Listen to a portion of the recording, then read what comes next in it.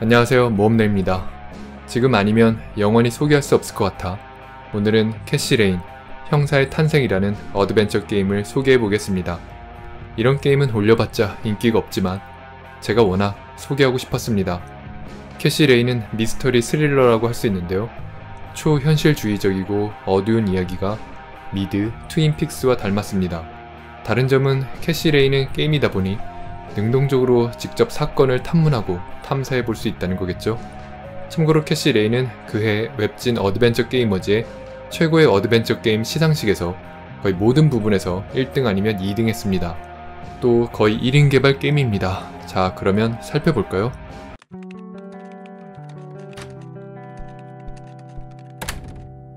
Hey, you. Uh, hey. Man.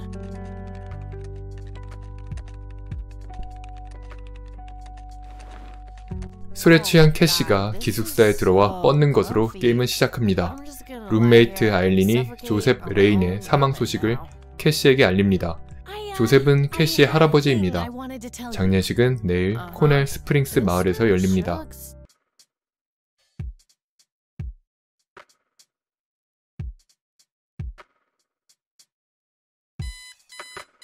Oh, God, make it stop.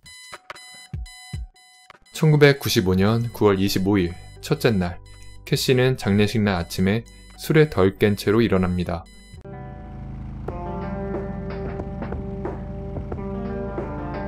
그리고 오토바이를 몰고 장례식장으로 향합니다. 또 다른 명작 어드벤처 게임 풀스로틀도 떠오르죠.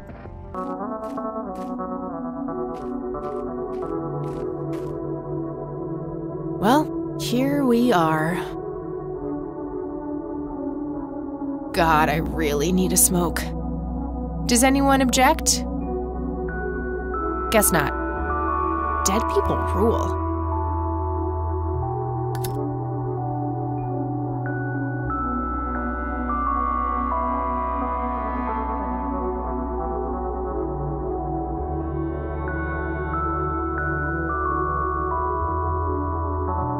담배 한 대 빨았으니 그럼 장례식장에 참석해야겠죠? 이곳에서 캐시는 아주 오랜만에 할머니를 만납니다. 지금 땅에 묻힌 할아버지 조셉 레인의 부인 되시는 분이죠. 장례식 끝나고 가려하면 성 삼위일체 성당의 신부가 자기 성당 홍보지를 줍니다. 게임을 더 진행하다 보면 이 신부와 성당에도 비밀이 숨어 있다는 걸 알게 됩니다. 할머니를 만나러 왔습니다. 이 대화에서 캐시 아빠는 과거 실종됐다는 거, 엄마는 정신병원에 있다는 거, 할아버지는 1981년 모종의 일을 겪은 후 거의 식물인간 상태로 살아왔다는 걸 알게 됩니다. 캐시는 뭔가 이상한 점을 느끼고 1981년에 할아버지 조셉에게 무슨 일이 벌어졌었는지 좀 더 알아봐야겠다고 생각합니다. 경찰서입니다. front desk에는 말단 젊은 경찰이 앉아있는데요. 캐시에게 작업을 겁니다. 하지만 캐시를 넘보기에는 너무 쓱맥 같아 보입니다. 보안관에게 1981년 사건 파일 좀 볼 수 있냐고 물어봅니다. 당연히 안 된다고 합니다. Aw, come on, Sheriff. What's the big deal? It was a long time ago. It would make this girl very, very happy. Are you trying to use flirtation on an officer of the law? Oh, that shit may work on numbnuts like Lenny, but I got work to do. 미인계로 어떻게 꼬셔버렸지만 실패했네요. 사건 파일은 유치장에 갇혀있는 불황자를 꼬셔서 해결합니다. 캐시의 협상력을? 볼까요? Ten bucks says you do. Hmm. I'd say my services in this matter are worth at least 20 bucks. Nine, 15. eight, Fine, 10. seven. Deal. Good. 어쨌든 불황자의 도움으로 캐시는 사건 파일 캐비닛을 뒤져볼 수 있습니다. 1981년 8월 16일 오후 11시 40분 조셉 레인이 마을 외곽에서 머리부터 발끝까지 더러운 상태로 넋이 빠진 채 발견되었다고 적혀 있습니다. 테이프 레코더를 손에 꽉 쥐고 있었는데요. 그건 증거물 보관함에 보관되어 있습니다. 그럼 테이프 내용 일부를 들어볼까요? Note to self. Remember the perfect bouquet consists of three red roses, a blue violet, and two yellow tulips. I've been working on my research in the attic at night. I just. I'm getting closer to finding the source. I have a theory, But I need help. I'm gonna have to involve somebody else. 자, 테이프에서 언급된 다락방으로 왔습니다. 이렇게 어드벤처 게임은 추리하고 탐문하는 재미가 있죠. 앞으로 어떤 비밀이 더 드러날지 두근두근 합니다. 다락방 구석에 보면 서류 가방이 보입니다. 서류 가방은 비밀번호를 입력해야만 열리는데요. 이 부분도 플레이어가 스스로 알아내야 하는 퍼즐입니다. 자, 그럼 어딘가에 힌트가 될 만한 단서도 있겠죠? 그런 걸 찾아내 답을 알아내는 순간의 짜릿함이 어드벤처 고유의 재미입니다. 아니나 다를까 책상 한 구석에 수학책이 있습니다. 책 제목은 무한수의 비밀이고 노란색, 파란색, 빨간색 포스트잇으로 책갈피가 되어 있습니다. 노란색 책갈피를 펴면 파이가 보이고요. 파란색 책갈피에는 피보나치 수열이, 빨간색 책갈피에는 소수가 보입니다. 자, 그럼 같이 추리해볼까요? 첫 번째 힌트는 뭘까요? 아까 테이프 들었던 거 기억나시나요? Note to self. Remember the perfect bouquet consists of three red roses, a blue violet, and two yellow tulips. 두 번째 힌트는 당연히 수학책이겠죠?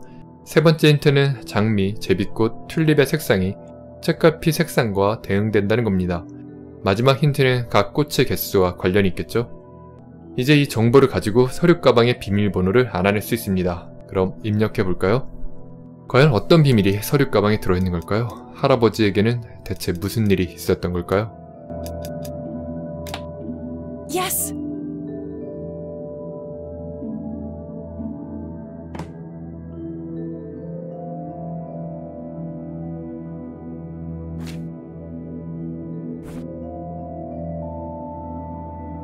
Let's see what's in here.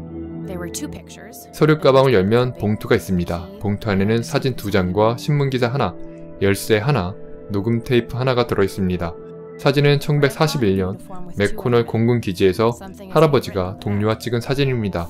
신문은 한 소녀가 코넬 호수에 빠져 죽은 사건에 관한 기사입니다. 소녀의 사망일은 1975년 7월 14일입니다. 할아버지는 왜 이 기사를 복원해 두었던 걸까요? 열쇠는 아직 정체를 모릅니다. 그럼 녹음 테이프를 카세트에 끼워 들어볼까요? You've reached the Rain residence. Leave a message after the beep. Hello, Joseph, Mrs. Rain. It's me, Charles. I thought I'd give you a call. Erica just had her firstborn. It's a boy. Thankfully, he looks nothing like his father. Uh, listen, I was thinking maybe you'd like to come and visit. And what about your little Kathy? Maybe she wants to see the baby. Well, anyways, hope to see you soon. All the best. Bye. You people make me sick. We're never coming back. Don't call, don't write. If you ever try to contact us, I will call the police. Joseph, you there? It's me, Cocky. I, it happened to me too. And I'm not going to tell any of those bastards. They got it all wrong. You're the only one I trust now. Just call me back as soon as you can. Hmm. I wonder who this cocky is.